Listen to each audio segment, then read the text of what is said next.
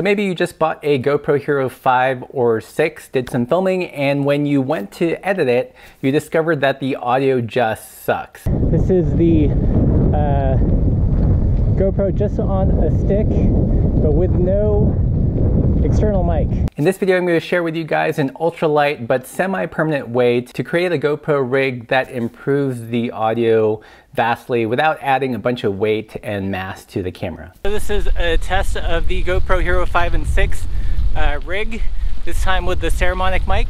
Welcome back Pathless Pedalers and if you're new to the channel, if you're looking for information and inspiration around bike travel, bike touring, bike fishing, and how to film your adventures, then you've come to the right place.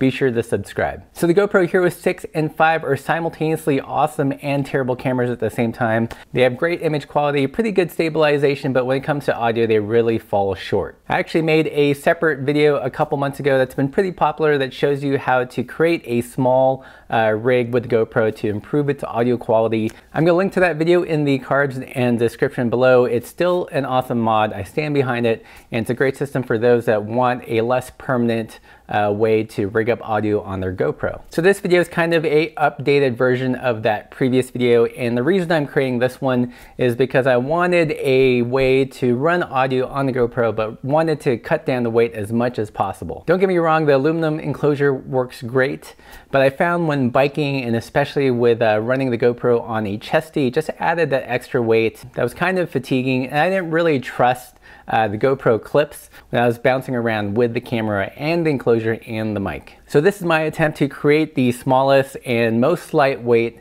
way to improve the audio on the GoPro Hero 5 and 6. So let's jump right in. You're gonna need a couple things. Of course, you're gonna need a GoPro 5 or 6. In this video, I'm using the 5, but it's the same exact form factor and essentially the same camera as the GoPro Hero 6, at least in the audio department. For this rig, I'm to use the stock cage. You also need the overpriced mic adapter. There's just simply no way to get around that. You'll also need this Saramonic mic that I'm to link to below. Uh, be sure to get this one specifically. There are two versions that look very similar, but one is designed for your phone and one uh, is designed to work with general kind of audio inputs. And if you get the wrong one, it won't work. Again, you'll also want a five pack of these windscreens. This definitely helps cut down the uh, wind noise when you're outside and it's windy or if you're outside and you're on a bike. And the piece de resistance for this uh, mod is Sugru. If you're not familiar with Sugru, it's a silicone based uh, putty comes in little packages and when you open it up, you can kind of mold it to shape. And it's great at sticking two objects together. And if you let it cure overnight, it becomes kind of a hard rubber material. So because of the Sugru, this rig is kind of uh, semi-permanent, but you can remove it if you need to. I found that just taking a sharp knife, you can kind of cut the Sugru off and peel it away. So if you built up my previous rig, you'll want to cut the zip ties and free the audio adapter away. The next step is to take the uh, skeleton frame and the audio adapter and kind of line it up so you know exactly where you want to put it before you apply the Sugru. Then you want to open up the Sugru and kind of roll it into a ball. I found for this hack, you'll need at least two packs of Sugru so you can create an offset so you can stick your finger and actually hit the record button. I had to film this video twice because the first time I did it I didn't account uh, for that necessary space so I had to cut the Sugru off and apply more Sugru. So definitely be sure to build in that buffer so you can stick your finger in there. So the way you want to apply the Sugru is to kind of ball it up and put it on one surface and uh, create a bit of a point so when you compress it to the other surface it'll flatten out. A couple of tips when you're applying the Sugru is you definitely want to make sure that it's not touching parts of the case you don't want it to touch. You don't want the latch to bond to itself. So be sure to keep those areas nice and tidy. You have about 30 minutes to mold the Sugru before it becomes really tough to work with. So a fair amount of time, but you do want to kind of be purposeful in your actions. So basically you want to snug it up as much as you can while leaving room to stick your finger to hit the record button. You can go around the edges and smooth it and kind of clean up uh, where the two parts meet. So after waiting for 24 hours, you want to cut the zip tie and there you have it. You have a lightweight but semi-permanent audio rig for your GoPro Hero 5 or 6. So although it looks like clay or silly putty, uh, the material is a lot more robust. It doesn't seem like it's going to break off and it looks like it's going to hold it pretty well. And if it does, there is an extra package of Sugru so you can always uh, reattach it if things go sideways. I'm going to jump to some audio samples in a second, but before I do that, I want to talk a little bit more about uh, the settings I use on the GoPro and also some expectations with the mic. In the general preference settings, I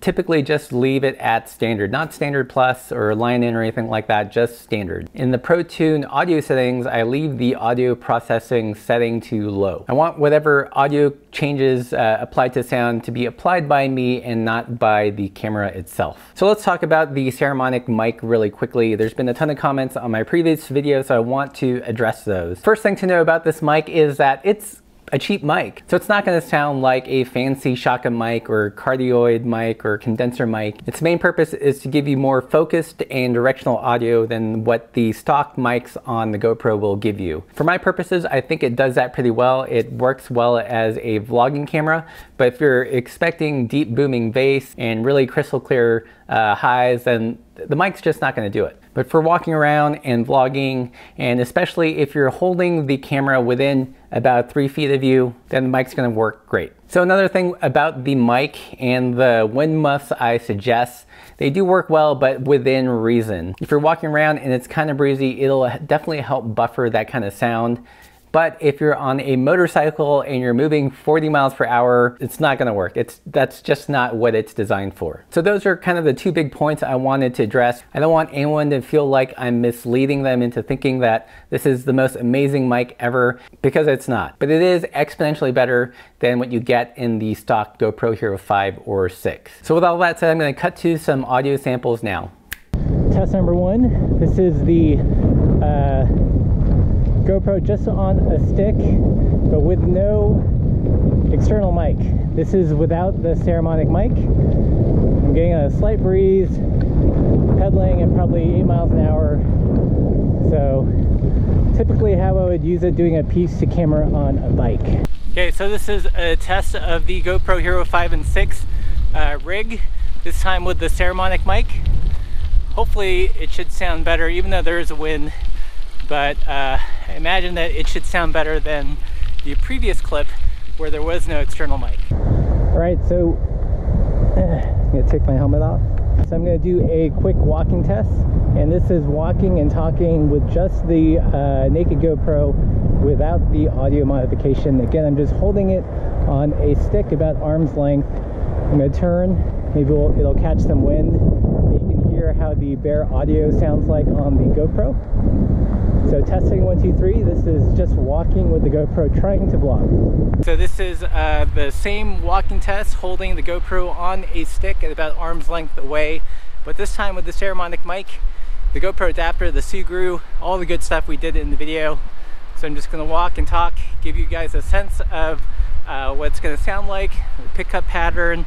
I'm gonna rotate and maybe it'll catch some wind. There's definitely a headwind coming towards me this way. We'll see how that buffers the wind in the editor.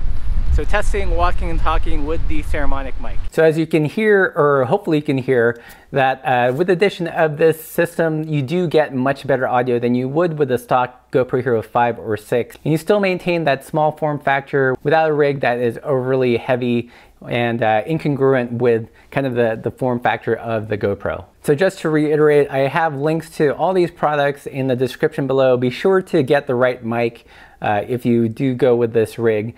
And if you guys have any questions or want uh, to, to hear, see specific uh, examples of this mic in use, And leave those in the comments below. But also be sure to check out uh, my recent vlog videos on the channel because I do use this rig and it'll give you a sense of how it works in real life situations. So I hope you guys found this uh, video helpful and I answered a bunch of your questions, uh, especially from my previous video. If you like the video, you know what to do. Don't forget to subscribe and thanks for watching.